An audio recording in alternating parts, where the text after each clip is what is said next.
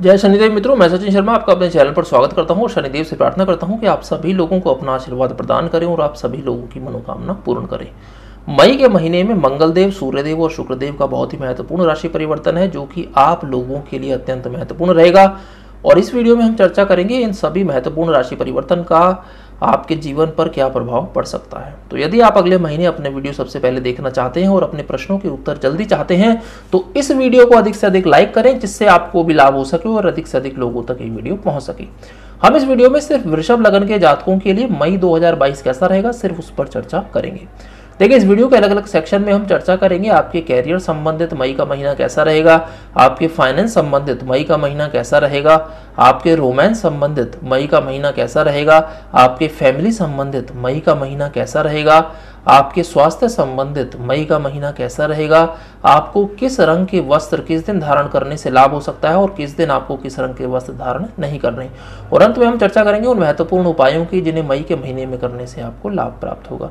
तो यदि आपकी कुंडली के प्रथम भाव में दो नंबर लिखा है और उसके साथ उसी भाव में एल ए लिखा है, जैसा कि आप देख रहे हैं, और यदि आप अपनी कुंडली हिंदी में देख रहे हैं तो वहाँ प्रथम भाव में एल ए के स्थान पर हिंदी में ल लिखा होगा। तो यह मासिक राशि फल मई 2022 आपके लिए है, बाकी सभी लगन के लिए आप मेरे दूसरे वीडियो देख सकते हैं। तो चलिए आगे बढ़ते हैं सर्वप्रथम बात करते हैं आपके कैरियर संबंधित मई का महीना। कैसा रहेगा? एक से चौदह मई तक का समय आपकी कुंडली कुछ इस प्रकार दिखेगी, जैसा आप देख रहे हैं, वर्तमान समय में राहु और सूर्यदेव आपकी कुंडली के बारहवें भाव में है, केतु आपकी कुंडली के छठे भाव में है, मंगलदेव, शनिदेव की युति आपकी कुंडली के दशम भाव में है, गुरु आपकी कुंडली के ग्यारहवें भाव में तो चलिए चर्चा करते हैं कि इन सभी ग्रहों का आपके कैरियर पर क्या प्रभाव पड़ सकता है। देखिए, इस समय में सूर्यदेव और राहु की युति के कारण आपकी कुंडली में ग्रहण दोष बना हुआ है, जिसके कारण आपको किसी प्रकार का कोई अप्रत्याशित लाभ मिल सकता है। यदि आप प्रॉपर्टी डीलर हैं तो इस समय में आपके कार्य सुलझते भी दिखाई देंगे। यदि आपके बिज़नेस में किसी प्रकार का कोई बाधा चल रही है, किसी प्रकार की कोई रुकावटें बनी हुई हैं तो वो बाधाएँ यहाँ कम होती दिखाई देंगी। राहु की दृष्टि आपकी कुंडली के चौथे भाव पर होने के कारण, यदि आप किसी प्रकार की प्रॉपर्टी में निवेश करने का प्लान कर रहे हैं तो थोड़ा इंतज़ार करें, अन्यथा ये समय आपको किसी प्रकार के मानसिक तनाव में फंसा सकता है।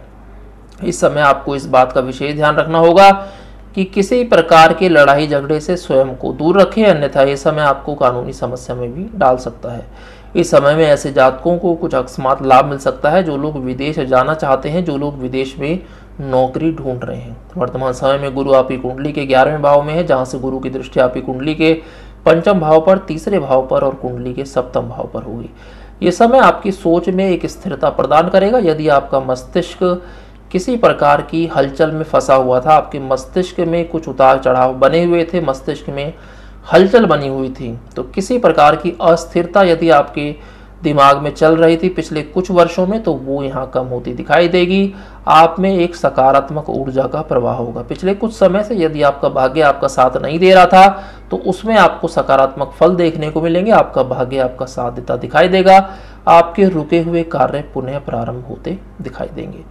ये समय ऐसे जातकों को कुछ शुभ फल दे सकता है, जो जातक एजुकेशन के कार्य से जुड़े हैं, जो जातक किसी प्रकार के एनालिसिस के कार्य में हैं, जो जातक शोध अर्थात रिसर्च जैसे कार्यों में हैं, जो जातक सॉफ्टवेयर डेवलपमेंट जैसे कार्यों में हैं। ये समय विद्यार्थियों के लिए भी अत्यंत महत्वपूर्ण समय रहेगा। आपकी एकाग्रता में वृद्धि होगी। आपकी मेहनत अनुसार जो लाभ आपको मिल नहीं रहा था, वो यहाँ मिलता दिखाई देगा। इस समय में शनिदेव और मंगलदेव की युति आपकी कुंडली के दशम भाव में है, जिसके कारण आपको अत्यधिक ऊर्जा की अनुभूति भी हो सकती है। जो लोग अपना घर बनवाना चाहते हैं, जो लोग वाहन खरीदना चाहते हैं, ऐसे जातकों को अत्यंत शुभ फल मिलते दिखाई देंगे। इस समय शनिदेव आपकी कुंडली के दशम भाव में अपनी मूल त्रिकोण राशि में है, जो आप लोगों के लिए अत्यंत महत्वपूर्ण गोचर रहेगा, क्योंकि इस समय में शनिदेव की दृष्टि आपकी कुंडली के बारहवें भाव पर, चौथे भाव पर और सप्तम भाव पर होगी। शनिदेव एकमात्र ऐसे ग्रह होते हैं, जो कुंडली में राहु और केतु के नकारात्मक प्रभाव को कम करने में आपकी सहायता करते हैं। शनिदेव का ये गोचर आपकी कुंडली के दशम भाव में शश पंच महापुरुष योग का निर्माण करेगा, जो कि आपकी कुंडली में 30 वर्ष पश्चात आया है। तो ये समय और आने वाले कुछ वर्ष आपके कैरियर को लेकर, आपके व्यवसाय को लेकर अत्यंत महत्वपूर्ण वर्ष रहेंगे। ये समय आपके कार्य को लेकर, आपकी नौकरी को लेकर बहुत शुभ समय है।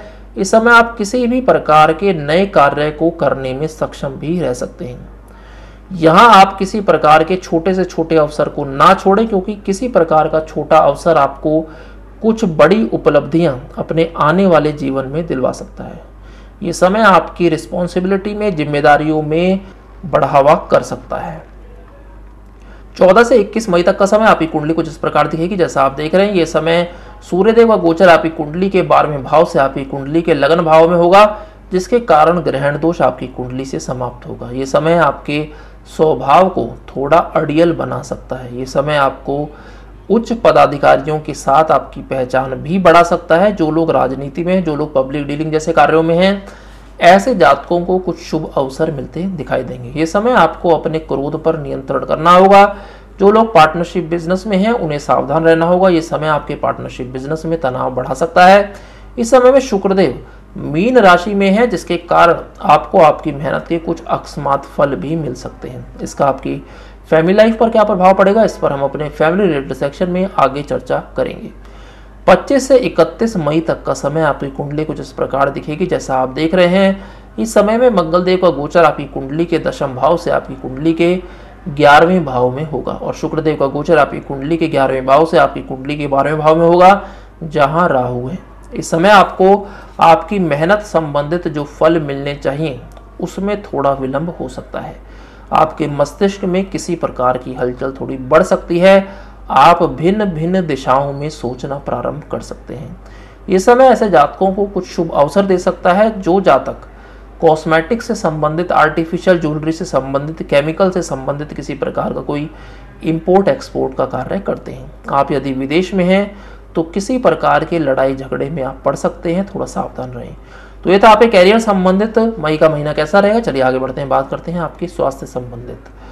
मई का महीना कैसा रहेगा? एक से दस मई और इक्कीस से इकतीस मई तक का समय, ऐसे जातकों को सावधान रहना होगा, जिन्हें नींद आने में समस्या हो सकती है, जिन्हें नसों में दर्द रहता है। तो इस प्रकार की समस्या आपको अधिक परेशानी में डाल सकती है। 14 से 16 मई और 18 से 21 मई तक का समय आपको बहुत अधिक सावधान रहना होगा। यहाँ आपको नींद आने में समस्या हो सकती है, यहाँ आपको बेचैनी महसूस हो सकती है, जिसके कारण आपका मानसिक तनाव बहुत अधिक बढ़ सकता है। आप मेडिटेशन अवश्य करें, आपको लाभ मिलेगा। तो ये था आपके स्वास्थ्य संबंधित, चलिए आगे बढ़ते हैं, बात करते हैं आपके फाइनेंस संबंधित, ये समय कैसा रहेगा। एक से सत्रह मई तक का समय आपके फाइनेंसेस में आपके वित्त में सुधार होता दिखाई देगा, आपकी फाइनेंस में वृद्धि होगी, ये समय आपके फाइनेंस के लिए, आपके वित्त के लिए सकारात्मक समय रहेगा। 19 से 25 मई तक का समय। आपके खर्चे थोड़े बढ़ सकते हैं, ये खर्चे आपकी यात्राओं में हो सकते हैं, ये खर्चे आपके स्वास्थ्य को लेकर हो सकते हैं।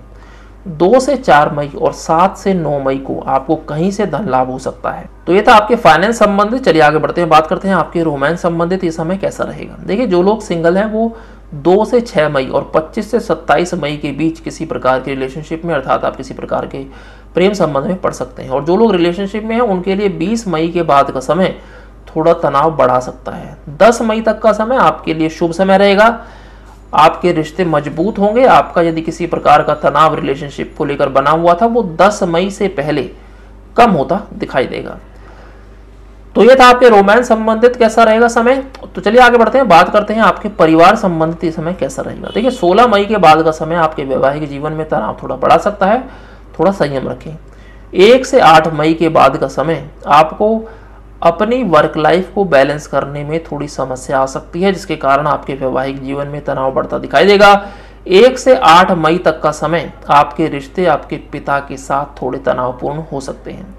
22 से 31 मई तक का समय आपकी माता के साथ संबंधों में तनाव बढ़ सकता है। आपके घर में मानसिक तनाव बढ़ने की संभावना बहुत अधिक है। थोड़ा सतर्क रहें।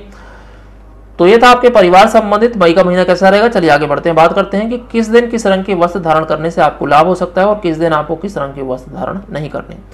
एक से दस मई के बाद का समय, आप हरे रंग के वस्त्रों से थोड़ा दूर रहें, ना धारण करें। आप इस महीने में पीले रंग के वस्त्र धारण कर सकते हैं। इस महीने में यदि आप दो से पाँच मई और पच्चीस से सत्ताईस मई को सफ़ेद वस्त्र धारण करते हैं तो ये आपके लिए अत्यंत लाभकारी रह सकते हैं। चलिए आगे बढ़ते हैं, बात करते हैं उन महत्वपूर्ण उपायों की, जिन्हें मई के महीने में करने से आपको लाभ प्राप्त होगा। आप 23 मई को प्रातः पाँच बजकर छब्बीस मिनट से सात बजकर दस मिनट के बीच हरे रंग के वस्त्र और कुछ दवाइयों का दान कोड़ियों के आश्रम में अवश्य करें। आप 24 मई को प्रातः पाँच बजकर पैंतालीस मिनट से शाम छह बजकर तेईस मिनट के बीच 250 ग्राम हल्दी और सवा दो मीटर पीले रंग के कपड़े का दान अवश्य करें। आप प्रत्येक शनिवार को पाँच रुपए अथवा दस रुपए के सिक्के का दान किसी गरीब को अवश्य करें अथवा किसी मंदिर में दान अवश्य करें। आपने सिक्के का दान करना है, कागज़ के नोट का दान नहीं करना। आप रोज सूर्यास्त के बाद कुत्तों को, मछलियों को भोजन अवश्य करवाएँ। जिन जातकों का विवाह नहीं हो पा रहा है, उन्हें तेरह मई और सत्ताईस मई को प्रदोष व्रत करना है। इस दिन आप सूर्योदय होने से पूर्व उठें, स्नान करें, शिव मंदिर जाएँ, वहाँ बैठकर आपने 108 बार ओम नमः शिवाय मंत्र का जाप आपने करना है। इस दिन आप शिव चालीसा पढ़ें, छोटी कन्या को भोजन खिलाएँ। इससे आपकी मनोकामना पूर्ण होगी। विवाह में जो भी अड़चने आप फेस कर रहे हैं, वो आपकी दूर होती दिखाई देंगी। तो ये थे वो महत्वपूर्ण उपाय, जिन्हें मई के महीने में करने से आपको लाभ प्राप्त होगा। तो ये था वृषभ लगन के जातकों के लिए मई 2022 कैसा रहेगा। शनिदेव आप सभी लोगों पर अपना आशीर्वाद बनाकर रखें। धन्यवाद।